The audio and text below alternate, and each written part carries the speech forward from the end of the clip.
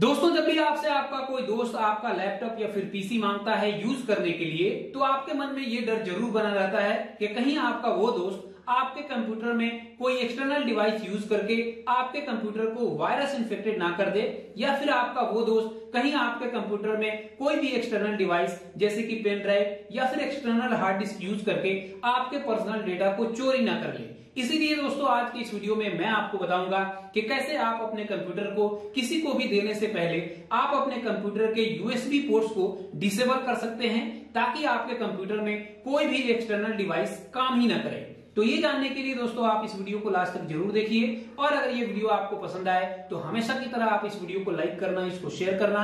अगर दोस्तों, ये वीडियो आप फेसबुक पे देख रहे हैं, आप मेरे फेसबुक पेज को लाइक और फॉलो करना और अपने दोस्तों के साथ शेयर करना। अगर यूट्यूब पे देख रहे हैं तो दोस्तों चैनल को ज़रूर सब्सक्राइब कर देना, क्योंकि आपको पता है, मैं हमेशा आपके लिए ऐसे ही नए नए टॉपिक्स पे नए नए वीडियोस लेकर आता रहता हूँ। तो आइए दोस्तों, आज कुछ नया सीख।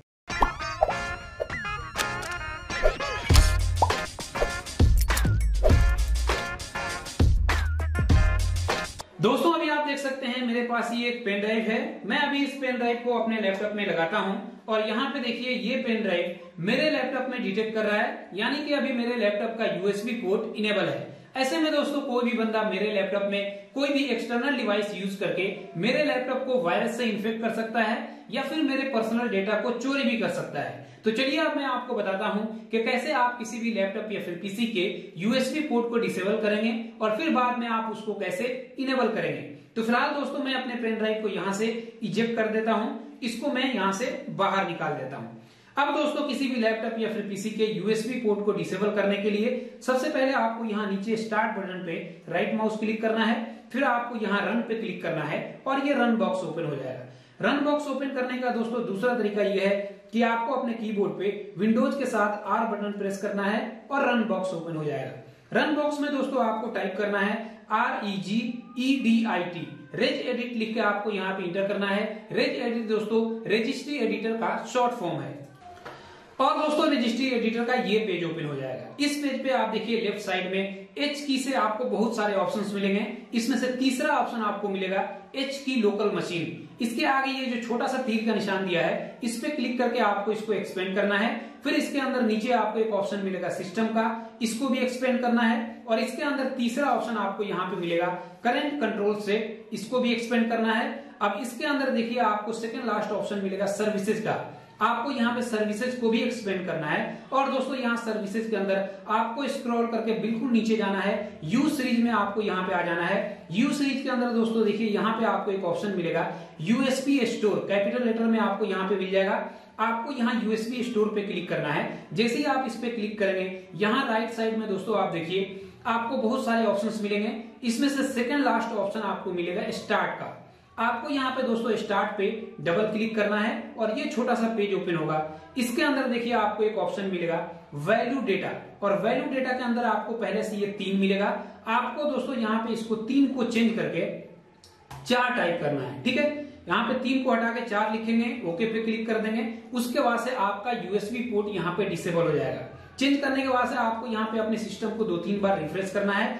अब देखिए मैं अपने पेन ड्राइव को दोबारा अपने लैपटॉप में लगाता हूँ और आप यहाँ पे देखिए, मेरा पेन ड्राइव अभी यहाँ पे डिटेक्ट नहीं कर रहा है क्योंकि मेरा यूएसबी पोर्ट यहाँ पे डिसेबल हो गया है। ठीक है?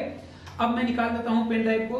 अब ये हो गया कि कैसे डिसेबल करेंगे। अगर दोस्तों आपको इसको इनेबल करना है तो आपको सेम प्रोसेस यहाँ पे फॉलो करना है और सेम प्रोसेस फॉलो करके आपको यहीं पे आ जाना है यूएसबी स्टोर वाले ऑप्शन पे। अब देखिए, मैं आपको फिर से यहाँ पे बता देता हूँ।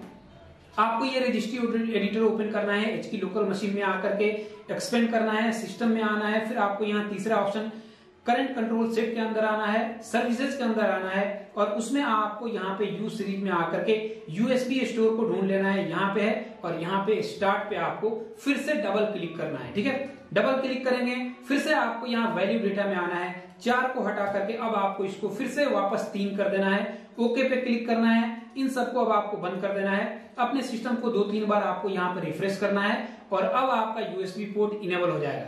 देखिए, मैं अपने पेन ड्राइव को यहाँ पे लगा दिया अपने लैपटॉप में। अभी आप देखिए मेरा पेन ड्राइव यहाँ पे डिटेक्ट कर रहा है, यानी कि मेरा यूएसबी पोर्ट अब यहाँ पे इनेबल हो गया है। तो ऐसे बहुत ही आसानी से दोस्तों आप किसी भी लैपटॉप या फिर पीसी के यूएसबी पोर्ट को डिसेबल या फिर इनेबल कर सकते हैं। उम्मीद है दोस्तों आपको ये वीडियो ज़रूर पसंद आया होगा।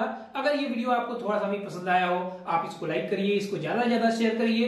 अगर ये वीडियो आप फेसबुक पे देख रहे हैं तो आप मेरे फेसबुक पेज को लाइक और फॉलो करिए। अगर यूट्यूब पे देख रहे हैं और अभी तक आपने मेरे चैनल को सब्सक्राइब नहीं किया है तो प्लीज़ इसको सब्सक्राइब करिए और साथ में बेलाइकन को ज़रूर दबाइए ताकि मेरे हर नए आने वाले वीडियो का नोटिफिकेशन आपको आसानी से मिलता रहे।